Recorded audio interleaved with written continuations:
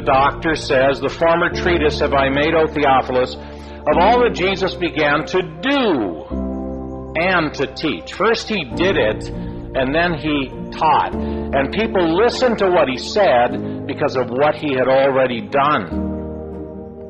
And you know, our works in the communities where we live will make way for the words.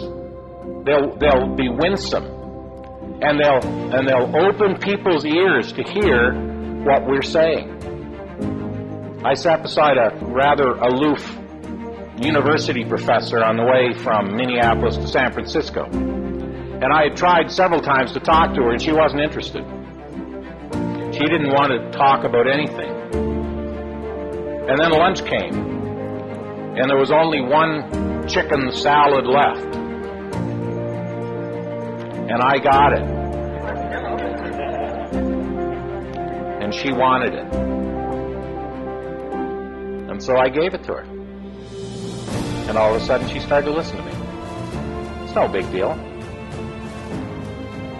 But people are always trying to connect what we say and what we do.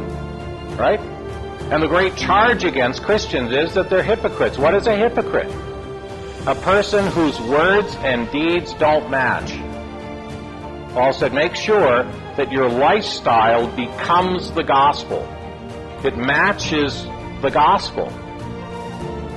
When somebody comes to me and says there's no God and, and they have all of these opinions, and I say to them, well, you know, I take your opinion seriously, but I'd like to check your credentials. Now, Jesus, he said certain things, but now he raised dead people. Have you raised any dead people lately? Have you given the blind their sight? Have you healed broken hearts? Oh. I think I'm going to take his word for it because he proved, he authenticated what he said by what he did. And Christians, that's what the world's looking for with us. Now, we can talk about the peace of God all we want, but if we cut somebody off on the expressway and we push our way in on the line and we, you know, our nerve endings are hanging out all the time, people are not going to take us seriously, are they? If we speak about the joy of the Lord, but there's no joy in our lives.